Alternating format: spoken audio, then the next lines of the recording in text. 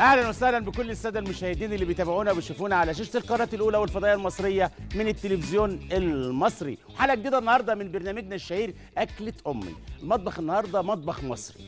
بيعجبني في المطبخ المصري كل محافظة مستقلة بأكلة كده مشهورة. إخواننا في الشرقية تلاقي عندهم مثلا الحواوشي بلد معينة كده شاطرة في الفطير المشلتت والحاجات دي. بحري الكشري البحري اللي هو العدس الأصفر بالرز المصري بتاعنا. في الصعيد الكشري الصعيدي. إخواننا في اسكندرية يقول لك الكبدة الإسكندراني الملوخية الإسكندراني الجمبري الإسكندراني. بس في أكلة بقى مشهورة جدا من أيام اليونانيين اسمها المزاليكا. المزاليكا دي مصطلح يوناني الله أعلم إذا كان يوناني أو ايا كان ولكن الطريقة بتاعتها نفسها تفتح الشهية اللي هي حلويات الخروف عموما سواء إذا كان كبد وكلاوي ومخاصي كل ده مع بعضه بياخد فلفل ألوان وبصل وتوم ولكن كالعادة الشيف المغازي له التركايه بتاعته. بتبقى فيها شوية زفارة شوية خاصة لو كانت ضاني فص المستكة هنا أو قليل من المستكة بيمنع الزفارة إذا كانت ضاني أو ايا كان. معاها طبعا العدل بتاعها شوية لسان العصفور بالجزر. أنا بيعجبني السكريات اللي موجودة في الجزر مع لسان العصفور واخد البهارات واخد الفليفر إذا كان حبهان ورق لورا الحاجات الجميلة فلفل أسود. الطبق ده جميل جدا على فكرة. ولو عندك شوية شوربة في الثلاجه بتاعت فراخ أو لحمة سابقا يا ريت تستخدميهم مع الطبق اللي هعمله دلوقتي لسان العصفور بالجزر. السفرة بتاعتي عدلها أكيد طبعا سلطة خضراء دي معانا يوميا من خير أرضنا. عندنا البصل والطماطم والخيار والخس كل ده بيجمعهم طبق واحد بطريقتك انت ال taste طبعا وال flavor. ولكن البطيخ متحدد إقامته مع طبق جبنة ماشي بالليل كده اللطافة والجو ولكن ناكل البطيخ سموزي أو نشربه سموزي مع آيس كريم ده الجديد. الأطفال بالتأكيد هيحبوه لما ناخد البطيخ ونشيل البذر منه ونضربه في الخلاط مع آيس كريم مع تلج. مع ورقتين نعناع أخضر. بالتأكيد الطعم هنا هيكون طعم تاني خالص ومختلف والبطيخ هيروح في حتة تانية. ولو كان الآيس كريم بالفانيليا بالتأكيد هيكون ألطف وأكتر بكتير للأطفال الحلوين. أنا مش عايز أطول على حضراتكم لأن في تفاصيل كتير النهارده مع المزاليكا من المطبخ الإسكندراني لإخواننا في إسكندرية. اوعوا تروحوا بعيد تابعوني بعد الفاصل.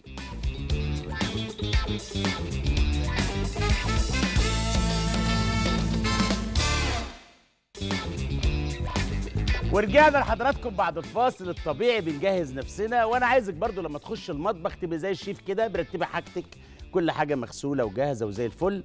الكبدة أو المزاليكا اللي معانا دي آه القلوب والكلاوي والمخاصي دي ما تتغسلش بعد التحضير. يعني جبتها من عند الجزار. عند الجزار يعني واحد ليا جزار صديق اسمه باراكوتا بركات يعني. فعايز منه لحمه قال لي بقول لك إيه يا شيف أنت محظوظ أمك داعيالك لسه عندي شوية مزاليكا كده شوية كبد على كلاوي لسه جايين طازة. قلت له اديهم لي. اهم حلو. بدنا نجيب نجيب الكلاوي بنجيب الكبد بنقطعها دلوقتي مكعبات مع بعض بالشكل ده كده ونتبلها ونجهز البصل ونجهز الفلفل الألوان كل ده مع بعضه. نشوف المقادير يا أستاذة رحاب بعد إذنك.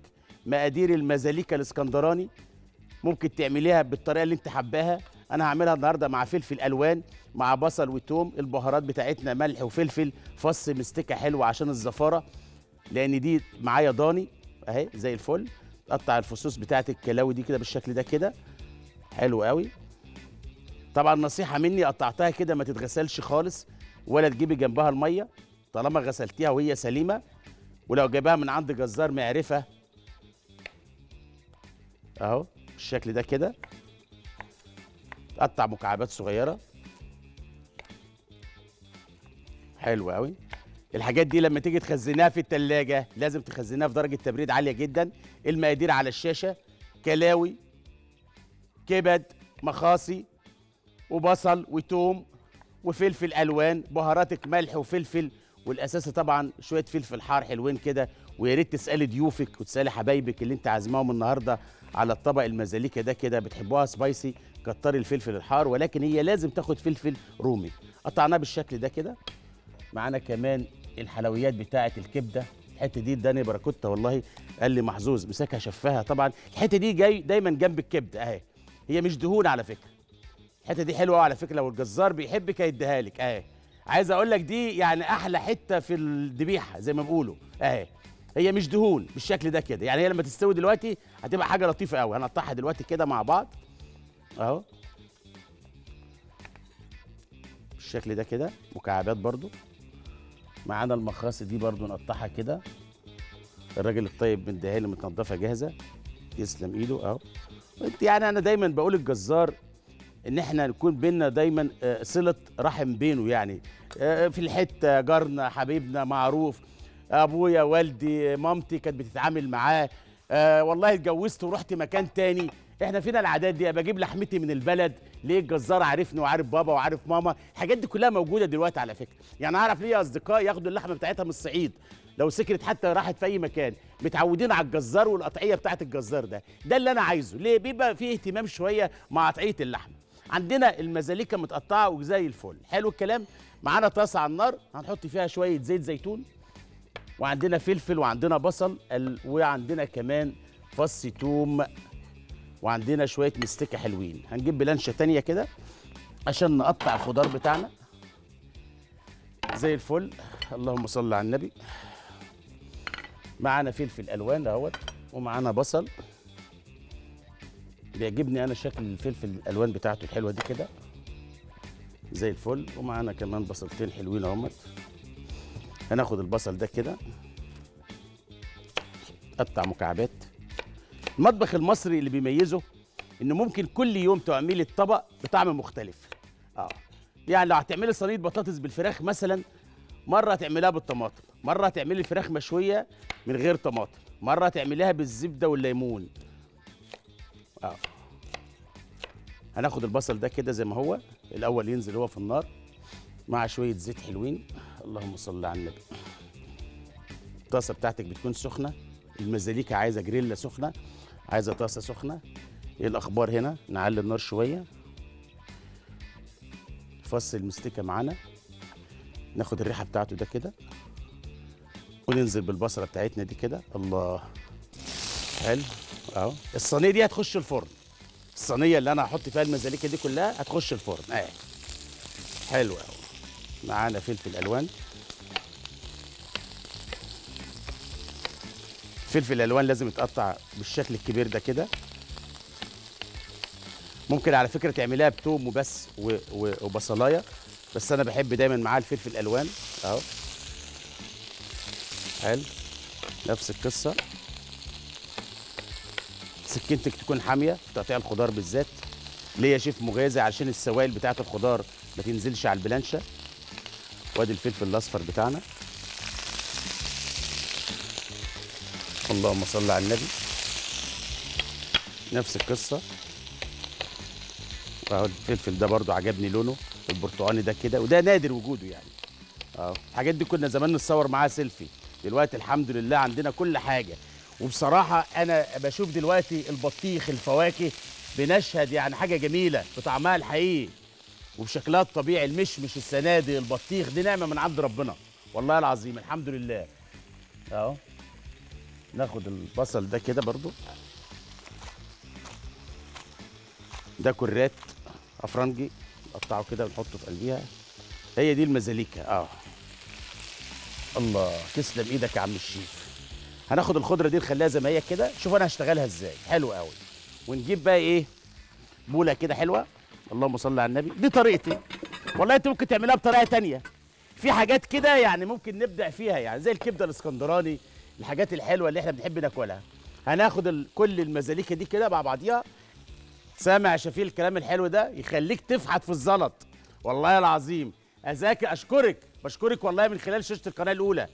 محظوظ يا شيف حب الناس وحب على فكرة حب حضراتكم ده اللي بيخلينا نوصل لقلوبكم بسهولة.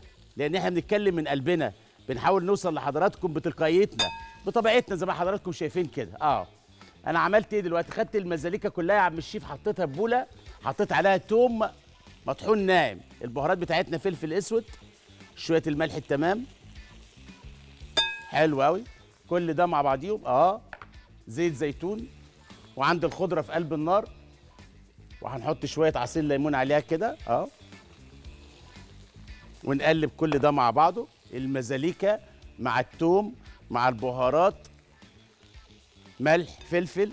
إيه الحلاوة دي؟ اهو اهو. شايفين الجو ده كده اهي. تقلبيها كده. آه. هنعمل إيه دلوقتي بقى؟ في طريقتين. يا اما دي تاخد صدمة نارية قبل الخضار وننزل عليها بالخضار. يا اما طريقة الشيف المغازي عندنا فرن درجة حرارته عالية جدا والشبكة فوق. بتاعة الفرن قريبة للنار. هاخد المزاليكه دي بعد ما تبلتها بالشكل ده كده بالثوم بالبهارات بتاعتنا الطعم الحلو ده كده واسقطها على وش الخضار كده.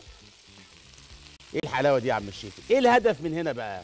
الهدف من هنا الخبرة الطهوية اللي حضراتكم اتعودتوا عليها مني التركاية إن المزاليكه دي بالتوابل بتاعتها هتنزل بهريز هتنزل صوصات هتنزل طعم هينزل على الخضار بتاعنا بالشكل ده كده. هناكل الخضار ونسيب المزاليكه دي على فين يا عم الشيف؟ زي ما هي كده هندخلها الفرن. زي ما هي مش هاجي جنبها بحاجة. كل اللي أنا هعمله معايا قرنين فلفل حلوين كده برزنتيشن حلو أهو بالشكل ده كده. علشان اللي بيحب الحار. على الوش هنا كده. اللهم صل على النبي. أهو. وهندخلها الفرن في درجة حرارة 200 زي ما هي كده. مخرجنا الجميل صلي على الحبيب قلبك يطيب. بنرفع الشبكة بتاعة الفرن فوق تبقى قريبة لدرجة الحرارة من فوق بالشكل ده كده. آه حلو قوي يلا بينا يلا بينا. آه إيه الحلاوة دي؟ أهي. زي ما هي كده. أهي أهي أهي أهي أهي. حبايبي أساتذة المصورين فرسان التلفزيون مصر أهو أهو. الصورة الحلوة على البوتاجاز تتحدث عن نفسها. هناخدها زي ما هي كده وتخش الفرن. اهي. المزاليك على طريقة الشيف المغازي. اللهم صل على النبي. اهو. قول لي اقفل الفرن اقفله. صلي على الحبيب. إيه الحلاوة دي؟ إيه الحلاوة دي؟ يلا. ناخد بعضينا وهنطلع فاصل صغير. ونرجع بعد الفاصل نشوف عدل المزاليكا. ممكن يكون رز بالشعرية ممكن يكون رز أبيض عادي. هنعمل النهارده لسان العصفور بالجزر. وما تنسوش التركايه بتاعت المغازي اللي تخلي الجزر يفرض شخصيته على لسان العصفور. اوعى تروحوا بعيد تابعوني بعد الفاصل.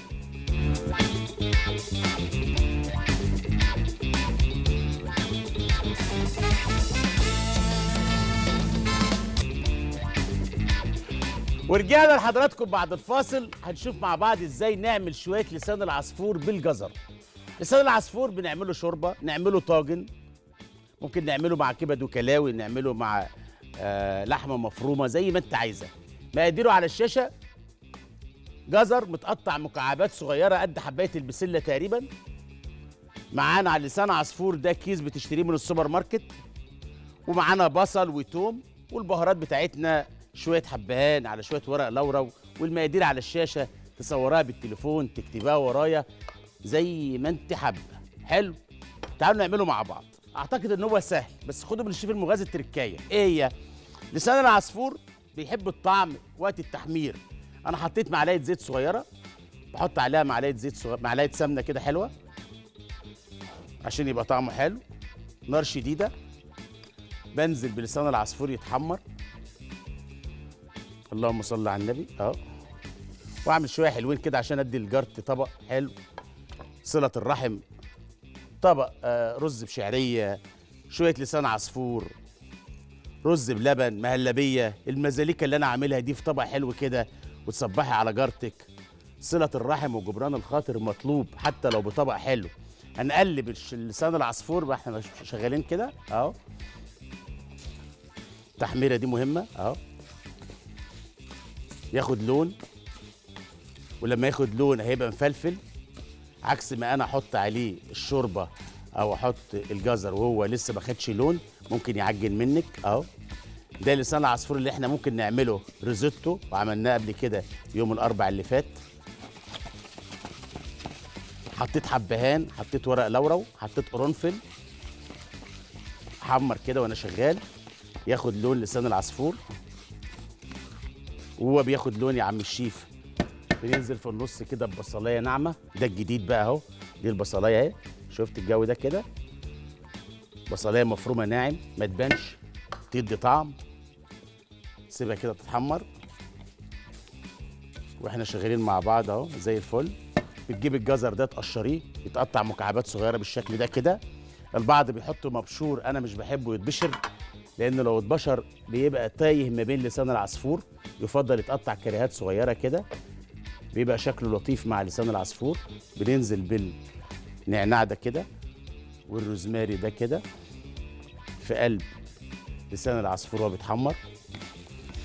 شفت الجو ده كده؟ فليفر ده ده طعم ده. آه آه آه آه. ده ما بقاش لسان عصفور بقى إيه؟ موسوعة. موسوعة علمية طهوية خبرة طهوية آه. طعم هنا بيتغير. آه. حلو. زي ما أنا شغال كده زي الفل. البهارات بتاعتنا. اللهم صل على النبي. معانا شوية بابريكا. شوية كركم صغيرين. شوية فلفل أسود. شوية ملح. مع لسان العصفور يتحمروا كده. أهو. زي الفل. ونقلب دول كلهم مع بعض يا عم الشيف. المزاليكا في الفرن. أنا مش قلقان أنا عايز أحمرها من فوق. الخضار خد الصدمة النارية المزاليكا بتستوي. وبعد كده بينزل الصوص بينزل البهريز بينزل الطعم مع الخضار بتاعي. هنقدمها لحضراتكم دلوقتي. أدي لسان العصفور بتاعنا. بالشكل ده كده. ننزل بالجزر. أهو ده الجزر بتاعنا متقطع مكعبات. يا نعم. حاضر يا فندم. هقول حالا دلوقتي. هقول بس بعد ما أشم الريحة الحلوة دي كده يا فندم. إيه الجمال والحلاوة دي؟ ده اللي عشا فيه لسان العصفور مع الجزر خلص الكلام. ما فيش هنا لسان عصفور خلاص. الجزر هنا له شخصيته. آه آه آه. زي الفل. نظبط الطعم؟ آه آه. بس. قال لك اتقل على الرز لما يستوي. بس إيه يا عم الشيف؟ لازم يغلي لازم يبقبق قدام عينينا كده ونوطي عليه النار. آه. الطعم ده كده نسيبه. آه. الفراخ المحمرة ليها طريقتين يا إما نخليها ونقطعها ونحمرها زي ما هي في صينية في الفرن مع شوية بهارات حلوين من الحبهان والورق اللورا والمطحون مع الفلفل الأسود. الطريقة التانية بنجيب الفرخة سليمة زي ما هي ونقطعها لثمان قطع ونتبلها ونحطها في صينية مع بطاطس مكعبات وتبقى الفراخ متحمرة مع صينية بطاطس. الطريقة الثالثه ودي طريقة أمي رحمة الله عليها كانت تسلق الفراخ وبعد ما تسلقها تشيل الفراخ من قلب الشوربة وتحمرها في قلب الصينية وفي قلب الطاسة مع معلقة سمنة بلدي. ما أقولكيش لسه ريحتها لغاية دلوقتي عايشة القصة دي كلها. خلي بالك. آه. تعالوا معايا شوف الأخبار اللسان العصفور بيستوي على النار. هنسيبه كده علشان مخرجنا بيحب يتفرج على الصورة الحلوة. نبص على المزاليكا اخبارها إيه؟ صلي على الحبيب. أنا هوريك بس كده من بعيد كده وأدلعك. آه. آه. بص عليها. آه آه. لسه اسحبها لك بره شوية عشان بحبك. آه آه. المزاليكا بص عليها كده وصلي على الحبيب قلبك يطيب. آه. آه يا فندم. آه آه آه. آه آه آه. إيه الجمال؟ آه آه يا فندم. أنت عايز تعور إيدي. آه آه آه. آه يا فندم. آه آه. آه آه آه. إيه الحلاوة دي؟ آه. حبيبي آه آه حاضر. آه آه آه. هي الفكرة في إيه؟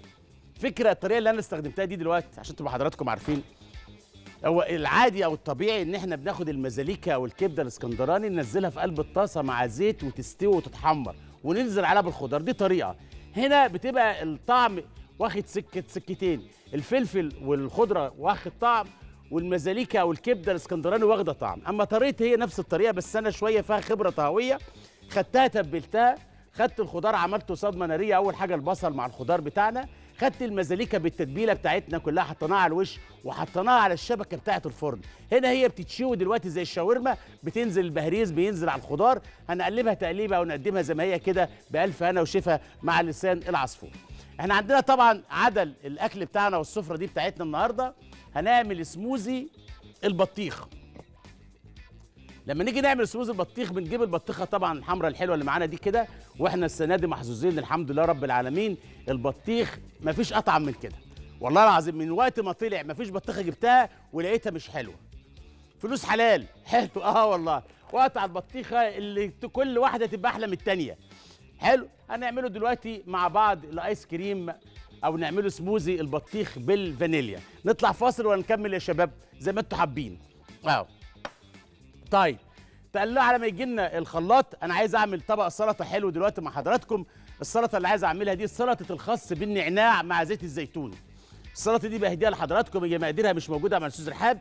ولكن كالعادة الشيف المغازي تعودنا منه لما بيكون معاه وقت بيضيف لنا حاجة جديدة. السلطة دي عبارة عن خس كابوتشا أو خس بلدي معاها زيت زيتون معاها نعناع أخضر معاها عصرة ليمون. هتسيبي كل حاجة على السفرة وتاكل السلطة دي لأنها قيمة غذائية عالية جدا. اولا اللي عنده امساك بيعالج الإمساك بتساعد على هضم الأكل بتريح المعدة خس مع نعناع وزيت زيتون وعصير ليمون وفص توم ني. تعالوا نشوفوا نعملها مع بعض إزاي بطريقة سهلة وبسيطة. شيف الخس يتقطع جوليان بالطريقة دي كده. السلطة دي أنا بحبها مع طبعا بما إن البطيخ معانا السلطة دي طبعا بالشكل ده كده ممكن تحطي معاها جبنة.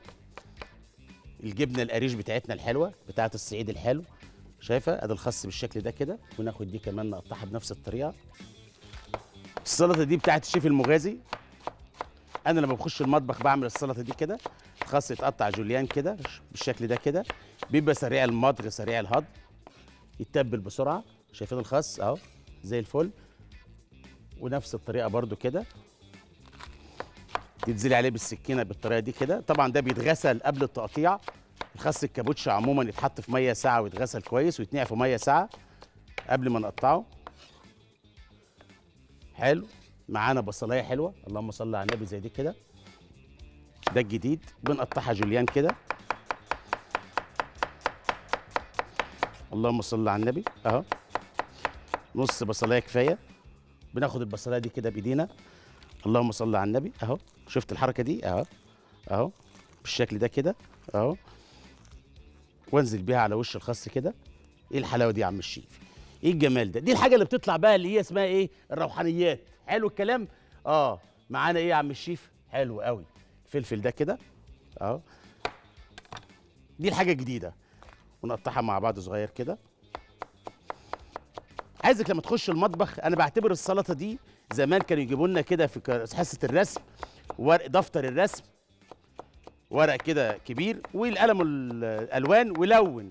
طلع بقى أحلامك وطلع اللي يرسم عربية بيحلم إنه يركب عربية اللي بيرسم عروسته في المستقبل اللي بيرسم البيت اللي هيسكن فيه. الحاجات دي كلها طبعا عشناها زمان أيام الطفولة أيام الابتدائية. حلو الكلام؟ إحنا ده كله مع بعضه. معانا فص توم ني شوية الملح التمام. السلطه دي يا أستاذ رحاب مش في المكرر خلي بالك. بره المكرر. شوية ملح. زي الفل. عصرة ليمون زيت زيتون. حلو قوي كل دول مع بعض يا عم الشيف. إيه الحلاوة دي؟ إيه الحلاوة دي؟ آه. وده على فكرة تتبل قبل الأكل مباشرة. يعني وإحنا بنحط السفرة دي تتحط جنب الأكل. تبقى لطيفة وجميلة. عصرة ليمون معانا. أهو. وتعالوا نغرفها في الطبق الحلو ده كده ونقدمها لحضراتكم. زي الفل تمام؟ اهو ده الطبق التقديم. بالشكل ده كده. حلو قوي آه ودايما السلطة لما تيجي تعمليها لازم تمسكيها كلها مع بعضها كده بإيدك مش بمعلقة وشوكة. اهو. هي الفكرة كلها إن ده كله لازم يختلط مع بعض. زيت الزيتون مع عصرة الليمون الخضار بيهبط. عشان كده بقول الخضروات الورقية تبليها لو بتعمليها السلطة وقت ما نقعد على السفرة. ألف هنا وشفا للي ياكل من السلطة دي. أهو. يا سلام. الصورة الحلوة تتحدث عن نفسها حتى لو كانت طبق سلطة. أهو. أهو. أهو. السلطة دي بهديها لكل السادة المشاهدين لمشاكل القولون لمشاكل الإمساك. ألف هنا وشفا. هنطلع فاصل صغير وبعد الفاصل نشوف الإنتاج بتاعنا. عندنا إنتاج النهارده عندنا مزاليكا في الفرن. هنبص عليها ونصلي على الحبيب. معانا طبق لسان العصفور بالجزر. البطيخ بتاعنا هنعمله سموز النهارده بآيس كريم الفانيليا. بهديه لكل الأطفال الحلوين اللي بيحبوا الشيف المغازي. اوعى تروحوا بعيد تابعوني بعد الفاصل.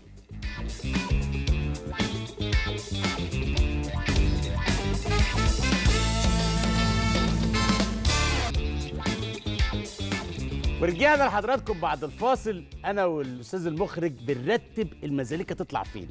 دايما يقول لك في المقدمة ده الطبق الأساسي.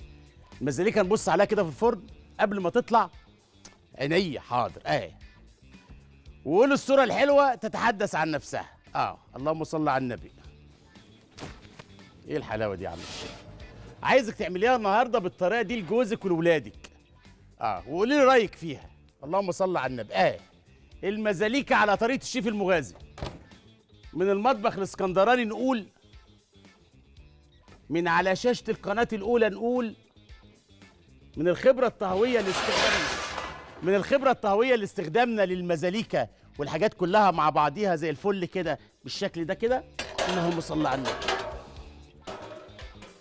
حلو. عايزين نعمل مع بعض السموزي. الأول نغرف لسان العصفور بتاعنا الحلو ده كده.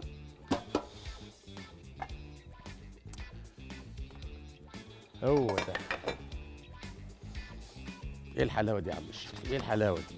إيه الحلاوة دي؟ والله أنت مش حابب ممكن تاكل معاه رز أبيض حسب الرغبة يعني بس أنا حبيت الجزر النهارده مع لسان العصفور. الطبق ده الأطفال هيحبوه كبار السن. اللهم صل على النبي. أهو. يلا. لسان العصفور بالجزر. هنا شخصية الجزر أقوى من لسان العصفور. خد الفليفر بتاع الحبان الورق اللورو عندك شوربة في التلاجة طلعيها شوربة لحمة مسبقا شوربة فراخ ما عندكيش لا ده ولا ده. استخدمي مية عادي. شيف المغازة هيعمل تركاية دلوقتي حلوة اتفرجي عليها. أهو وأنا شغال. زي الفل. هتعمل إيه يا شيف؟ أهو وإحنا مع بعض كده واحدة واحدة. المزاليكه بتاعتنا طالعة من الفرن. وفي مثل يقول لك من جور السعيد بيسعد.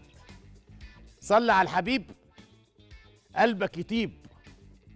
اللهم صل على النبي. هو ده المطبخ. دي الرؤية ده الفن والإبداع. يرجع تاني مكانه. آه. ألف هنا وشفا. تعالوا مع بعض نعمل سموز البطيخ بالآيس كريم. لا جيب لي الحاجات الحلوة دي. فينك يا شفيق؟ فين؟ فين ده؟ فين ده؟ إيه ده؟ أهو ده. إيه ده؟ شفت التركيه اللي أنا عملتها؟ أقولها تاني؟ خدت من المزاليكا شوية حب. نزلت بيهم على لسان العصفور بتاعي اللي بالجزر. إيه شوية الحب دول يا شيف؟ علشان اللي مش متابع معانا ومش مركز معانا البهريز اللي نزل من المزاليكا في قلب الصينية بالخضار خدته ونزلت بيه على لسان العصفور بالجزر. شفتوا المزاليكا مع الخضار؟ إيه الحلاوة دي؟ آه زي ما حضراتكم شايفين كده. الف أنا وشفا تمام. تعالوا مع بعض نشوف هنعمل إيه مع السموزي بتاعنا. الخلاط بتاعنا زي الفل. اللهم صل على النبي. بتهتم بالبطيخ شوية وتشيلي البذر منه. معانا ايس كريم فانيليا معانا تلج. المقادير على الشاشة شفناها. اشتغل زي ما هو يا غالي أهو. حاضر. عينيا. والمقادير على الشاشة. بطيخ خالي من البذر. ولازم. لأن لو في بذرتين ولا بذرة هتبوظ لك المود كله. معانا كمان يا عم الشيف تلج وآيس كريم فانيليا وورقتين نعناع أخضر. حلو الكلام؟ تعالوا نشوف هنعمله مع بعض إزاي سريعا. وإحنا مع بعض كده. ال- السموزي ده الأطفال هيحبوه. وتغيير يعني إحنا عايزين مش كل شوية هناكل بطيخ بالطريقة المعتادة. أنا جايبه كده برضو متقطع أهو زي الفل معانا. في قلب الطبق اللي حبه كده. أهلا وسهلا أهو زي الفل. نحطه جنب لسان العصفور كده. ألف هنا وشفا. ومعانا الكوبايات بتاعتنا. النهارده زودناهم واحدة. اللهم صل على النبي. الطبق ده كده زي الفل. أول حاجة هنحطها البطيخ بالشكل ده كده. اوعي البذر مع عصير البطيخ أو السموزي. آه. ونصيحة مني لما تيجي تعملي البطيخ عصير أو سموزي خد ال- ال- اللحم البطيخ اللي جنب القشرة.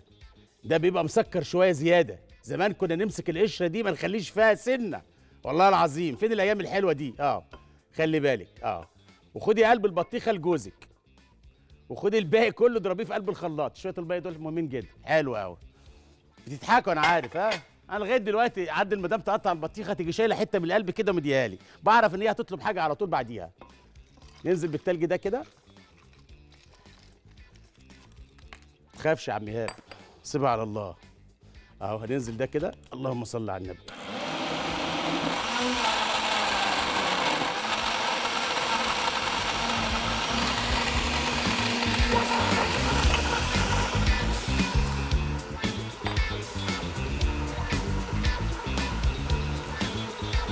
ورقتين نعناع أخضر.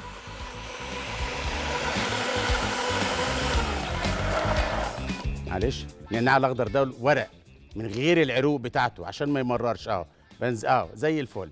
واشغل الخلاط. آه